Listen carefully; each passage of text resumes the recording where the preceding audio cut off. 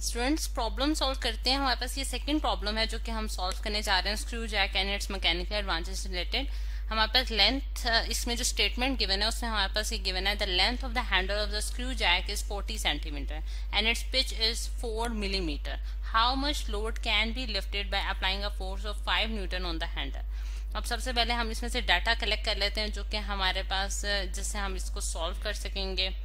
ठीक है डाटा में हमें क्या क्या चीज़ें गिवन है? सबसे पहले हमें length of the handle of the screw jack given है, जिसे हमने पिछले भी आपने प्रॉब्लम देखा था आर से ही रिप्रेजेंट किया था, जो कि हमारे पास इस केस में 40 सेंटीमीटर के बराबर है, ठीक है? और फिर पिच जो ऑफ़ द स्क्रू बार जो है, वो हमने एच से डिनोट की थी, जो कि हमें पिच को रिप्रेजेंट करी और ये हमारे पास फोर मिलीमीटर के बराबर है।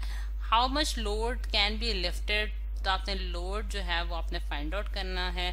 और applying a force of five newton यानी कि कितना लोड आप लिफ्ट अप कर सकते हैं, अगर आप फोर्स लगाएँ, या फिर आप इसको फोर्स भी कह सकते हैं और आप इसको जो है एफर्ट भी कह सकते हैं। यहाँ मैं एफर्ट भी लिख देती हूँ। Force is equal to effort अगर आप फाइव न्यूटन की एफर्ट लगा रहे हैं इस मशीन के ऊपर तो आप कितने न्यूटन्स का जो लोड है उसको लिफ्ट अप कर सकते हैं। तो ये हमारे पास स्टेटमेंट जो है, उसका डाटा कंप्लीट हो गया अब मैं फिगर की तरफ़ आती हूँ और इस चीज़ को एक्सप्लेन करने की कोशिश करती हूँ कि हम किस तरह से इसको देखेंगे। स्टूडेंट जैसा कि हम जानते हैं कि हमारे पास जो स्क्रू जैक है, वो हमारे पास लोड को लिफ्ट अप करने के काम आता है। ठीक है? जैसा कि हैवी लोड्स जैसा कार वगैरह है, उसको लिफ्ट अप करने के लिए ये हमारे पास एक सिंपल मशीन है और जो कि बहुत, जिसके बहुत ज़्यादा जो है वो यूज़फुल हमारे पास एडवांटेजेस हैं।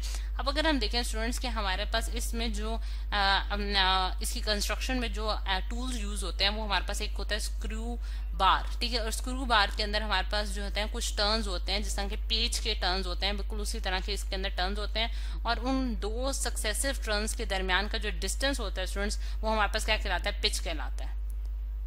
और पिच की जो लेंथ है वो हमें गिवन है, ठीक है? और फिर उसके बाद हम देखते हैं कि एक हैंडल इसके साथ अटैच किया जाता है, जिसको हम सर्कुलर मोशन में जो है वो रोटेट करवा रहे होते हैं, और उसके हम एफर्ट लगाते हैं, जैसे यहाँ पी से डिनोट किया जा रहा है, हम एफर्ट लगा रहे होते हैं सर्कुलर मोशन में, यानी कि इस इस हैंडल को मैं सर्कुलर फॉर्म में जो है वो रोटेट कराऊँगी। अब अगर मैं एक सर्कल कंप्लीट करती हूँ तो मेरे पास जो रेडियस है, यानी कि length length of the handle जो है वो हमें गिवन है फोर्टी सेंटीमीटर जो कि बेसिकली हमारे पास रेडियस के बराबर होगा, यानी कि अगर ये मेरे पास इतनी लेंथ है तो अगर मैं इसको सर्कल में मूव करा हूँ तो ये मेरे पास आर के बराबर आ रहा है, जिसको मैंने लिखा है फोर्टी सेंटीमीटर तो अगर मैं एक पूरी, इसी हैंडल को मैं एक पूरा सर्कल कंप्लीट करने को कहती हूँ तो मेरे पास कितना डिस्टेंस ये ट्रेवल करेगी, वो हमारे पास टू पाई आर के बराबर होगा, जो कि हमारे पास बेसिकली क्या होता है रेडियस ऑफ़ द सर्कल होता है.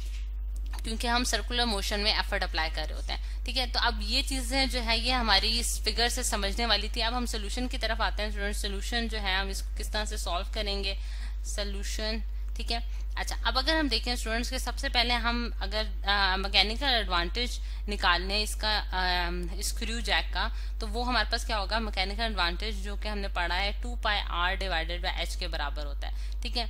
अब two pi R divided by H जो है, ये बेसिकली टू पाई आर हमारे पास टोटल जो है, ये हमारे पास क्या है? Distance move by the effort है और एच जो है वो distance move by the load है, ठीक है?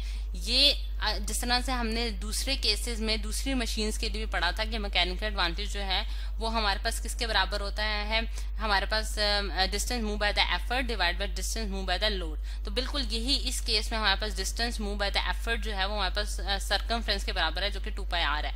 अब यहाँ मैं वैल्यूज़ पुट करती हूँ two in multiply by three point one four जो कि हमारे पास पाई की वैल्यू है और आर की वैल्यू हमारे पास कितनी है? Forty centimetre.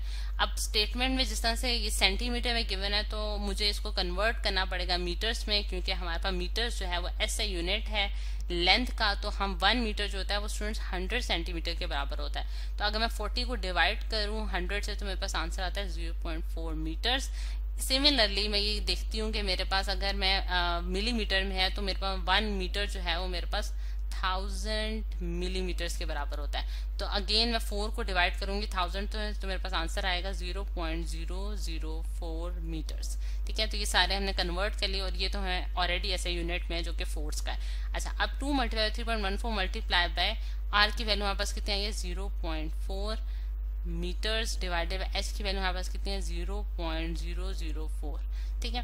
तो ये हमारे पास सारी वैल्यूज़ हमने इनपुट कर ली तो जो रिज़ल्ट आ रहा है स्टूडेंट्स वो इसका कितना आ रहा है? ऊपर अगर मैं न्यूमिनेटर को देखूँ तो two point five one two divided by zero point zero zero four और मैकेनिकल एडवांटेज को आप डिवाइड करेंगे कैलकुलेटर की मदद से तो आपका आंसर आ रहा है सिक्स टू एट ठीक है सिक्स टू एट तो स्टूडेंट्स ये हमारे पास का मैकेनिकल एडवांटेज निकला है। अच्छा अब मैकेनिकल एडवांटेज हमें उन्होंने फाइंड आउट करने के लिए नहीं कहा था, लेकिन हमने फाइंड आउट क्यों किया, इसकी रीजन मैं आपको बताती हूँ कि मैकेनिकल एडवांटेज जो है, उसका जो जनरल फॉर्मूला है स्टूडेंट्स वो हमारे पास क्या है? Load load divided by effort ठीक है?